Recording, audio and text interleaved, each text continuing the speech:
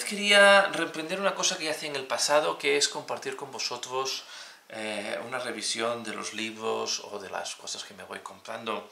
Decidme si esto es de vuestro interés en los comentarios de abajo y voy a empezar esta vez con el Psychic Awakening, pero estad preparados porque cuando tenga la caja de novena edición también voy a hacer un review de la novena edición.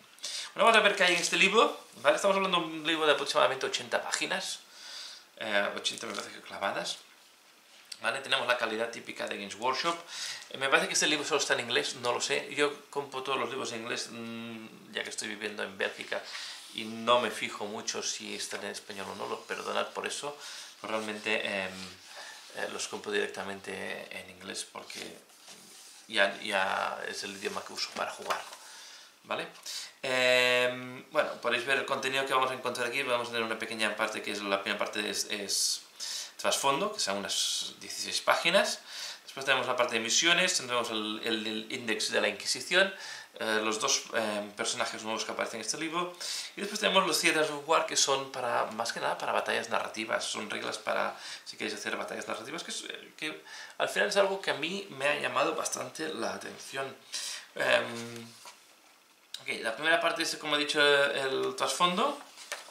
¿Vale? Eh, más sobre cómo va el imperio y sus guerras y tal, y aquí vamos a tener los necones, por supuesto, ¿vale? La batalla de las puertas o de los portales, eh, en la tumba, ¿vale? Vamos a ver que van a pelear en un mundo tumba, por lo que parece aquí, ¿vale? Y aquí ya los ecos del despertar.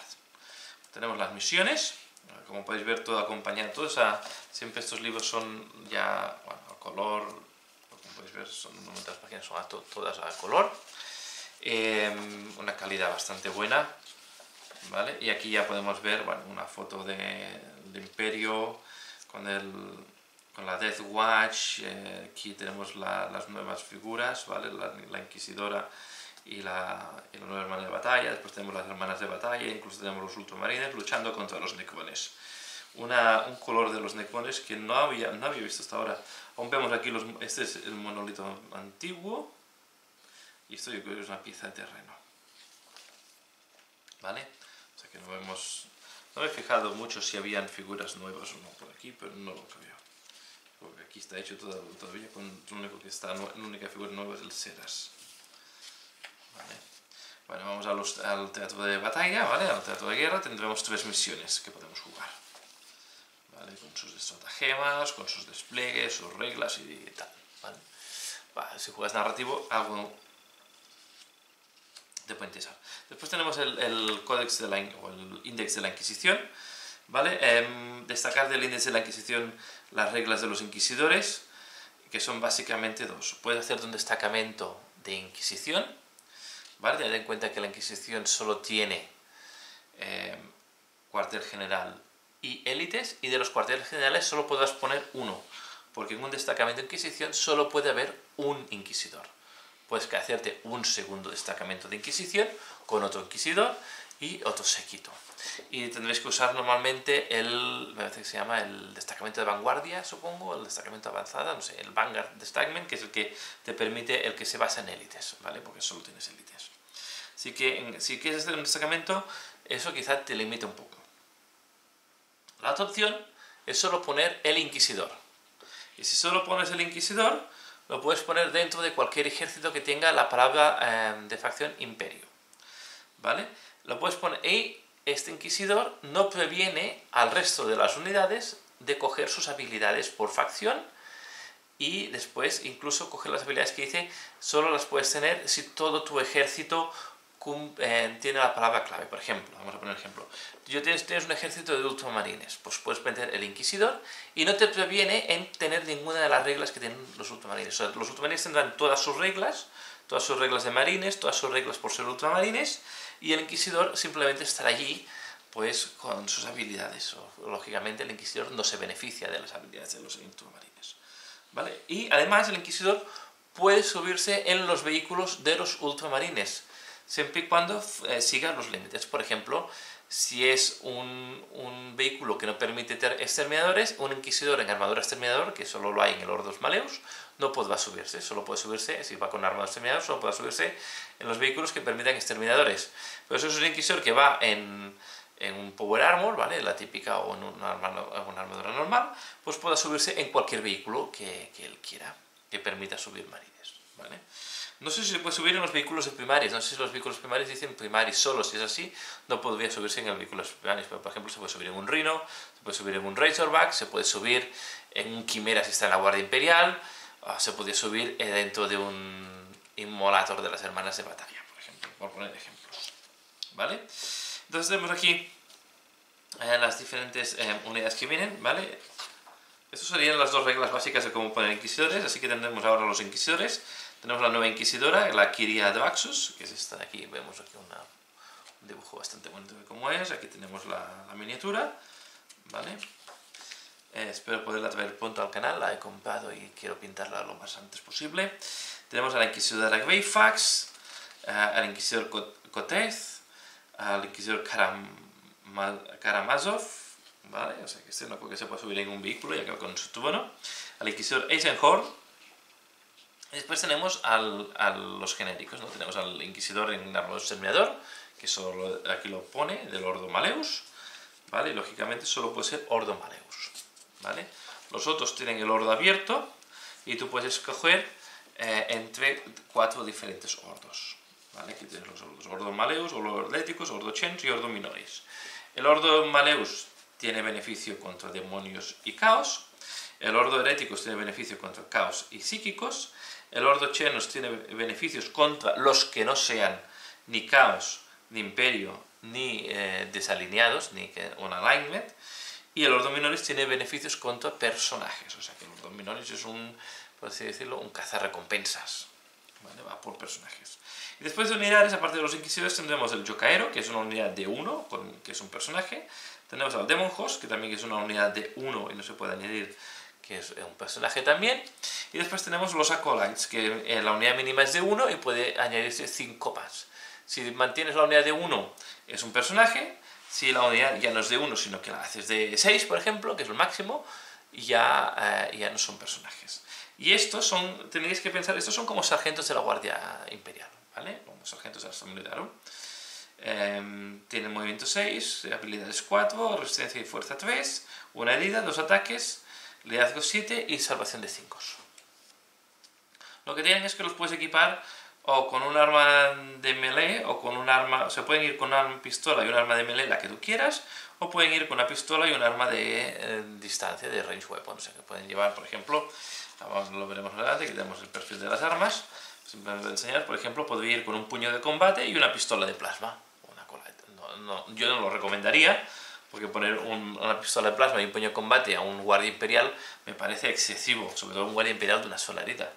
Pero, por ejemplo, ya, no sé, melee weapon si le pondríamos muchas o lo dejaríamos sin melee y simplemente con pistola, o le pondríamos, yo, yo creo que lo suyo es ponerle con mucho un rifle de plasma, como le haríamos a un guardia imperial, o ponerle un melta o ponerle un lanzallamas, yo que sé, ¿no?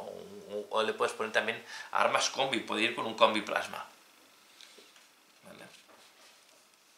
Lógicamente, un acolito, un acolito vale 8 puntos y después tendríamos que añadirle el coste eh, del arma, por ejemplo, si le ponemos el plasma gun, el rifle de plasma, que lo tenemos por aquí, serían 13 puntos por acólito.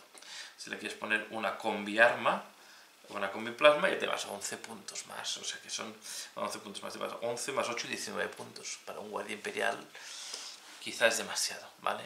Fáciles de matar. No creo que merezca la pena. Tenemos también los rasgos del Señor de la, del señor de la Guerra, del Warlord Traits. Tres genéricos y uno para ordos eh, maleos, otro para ordos heréticos y otro para ordos chenos. El ordos minoris no tiene rasgos propios, ¿vale? Vamos a ver, tampoco tiene poderes psíquicos propios. Tenemos seis poderes psíquicos y después tenemos tres, uno específico para cada uno de los ordos excepto el minoris. Y después tenemos reliquias y como siempre tenemos reliquias generales después tenemos una reliquia, tres reliquias generales y tenemos una reliquia específica para cada ordos excepto el minoris. Y los estratagemas que los estratagemas no me los he mirado, para ser sinceros. Pero siguiendo esto, ah, igual me encantaría ver en los estratagemas El primero parece que tenga ninguna restricción. Son, ah, el primero es un, bombardeo orbital, pero vale 4 puntos de, de comando. El segundo es contra personajes. Después tenemos, bueno, tenemos aquí diferentes estratagemas, ¿vale? No me los he mirado, esto es dado tiempo de mirarlos. Y después iríamos a lo que son héroes y villanos, donde tenemos básicamente dos perfiles. Tenemos a Efael Esther, que es la nueva hermana de batalla que va acompañada del Arlequín, y Illuminor Zeras. Para ser sinceros, la, la hermana de batalla esta no está mal, ¿vale? Hace smites que no son poderes psíquicos, por tanto hace smites que no, son, no los puedes parar. ¿Vale? Si luchas contra Caos, es un más 2 contra con estos smites. ¿vale? Es una habilidad que eh, funciona igual que un smite, pero no es un poder psíquico. Y hace lo mismo, un dado de 3 heridas, y si sacas un 9 más, un dado de 6 heridas mortales. ¿Vale? Pues tiene todas sus habilidades. Es básicamente eh, el smite y combate cuerpo a cuerpo. Y tiene también eh, despliegue rápido, así que puede venir a través de un portal de telaraña y aparecer donde quieras. Pero del campo de batalla siempre que sea más de 9 pulgadas del enemigo. Tenemos aquí a Luminos Eras. ¿Vale? Para los necrones. No sé si tiene dinastía o escoges. O puede ir en cualquier dinastía. Eso no me lo he mirado. Estas, porque esto me olvidó, esta eh, hermana de batalla funciona igual que un inquisidor, ¿vale? Puede ir en cualquier ejército imperial y no previene al resto de sacar de tener sus habilidades por facción por su facción y sus habilidades por capítulo y, y etc, etc, etc. O sea que es un personaje que se mete allí y no tiene ningún impacto sobre reglas, ¿vale? Sobre las reglas de los otros. Eh, así que vemos cada vez más en el MPI este, estoy mirando, este va contra psíquicos, el día no, no,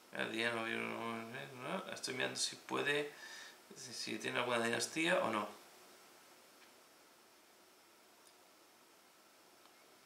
No pone nada aquí, así que no sé si... No pone nada aquí, así que no sé cómo, si tiene impacto o no sobre las dinastías. No veo que tenga ninguna dinastía, simplemente es Decon. Eh, no sé si las dinastías te implican que todos sean los Decones sean de la dinastía o no. Eso me parece que es un personaje que va bastante a, su bola. Y después la última parte, que al principio no le daba mucha importancia y ahora cada vez me gusta, me gusta más, es lo que se llaman teatros de guerra, o básicamente es em, peleas en diferentes eh, ambientes. sobre, todo para el narrativo puede ser muy interesante, por ejemplo tenemos em, luchar en la telaraña, tenemos el Wars, Warton Shrine Walls, sería un mundo que esto que ver. From your tabletop battlefield into unique imperial blend. Sí, es, un, es una mezcla de, de ruinas de la eclesiástica y fortalezas eh, santificadas, ¿vale? Esto es un mundo devorado por los tiránidos, o sea, puedes un mundo devorado, puedes luchar en un mundo demonio o demoníaco, puedes luchar en un mundo colmena, en un mundo forja, en una jungla peligrosa, ¿vale? un tipo Katachan, eh, en un, este sería en un wall and you can following rules to receive ya, esto es un poco más, no sé qué tipo de mundo realmente está sí, es un mundo que está afectado por por la disformidad de alguna manera, porque los psíquicos no pueden hacer em, repetir em, tiradas, por ejemplo. te, da, diferentes con em, walls, eh, lovely, divine. Sí, es un mundo perdido en el vacío, básicamente, ¿vale? que más parece que no está... Esto es un mundo tumba Nikon, ¿vale? Bastante interesante para hacer batallas narrativas y aquí acabaríamos, después ya tenemos esto que es simplemente un dibujo ¿vale? y la conclusión del Psychic Awakening. Bueno, esto es lo que viene en este libro, espero que os haya gustado la revisión, dadme por ejemplo un like si os ha gustado, decidme lo que pensáis, em, qué, qué pensáis de la serie del Psychic Awakening, eh, si os ha gustado o no, y lógicamente quizá este libro, si lo que buscas son reglas de fracción, es el más flojo, Por otro lado, me ha gustado bastante la última parte, que es eh, todos los escenarios para batallas temáticas, porque yo me, me decanto más por el narrativo y estoy tentado de usar esas reglas, a ver qué tal se ven. Aunque muchas veces eh, he de admitir que este tipo de reglas pueden descompensar mucho las batallas y hacerlas más, eh, menos equilibradas. Bueno, eso es todo por ahora. Espero que os haya gustado este review y como siempre, muchas gracias por vuestra atención y hasta la próxima.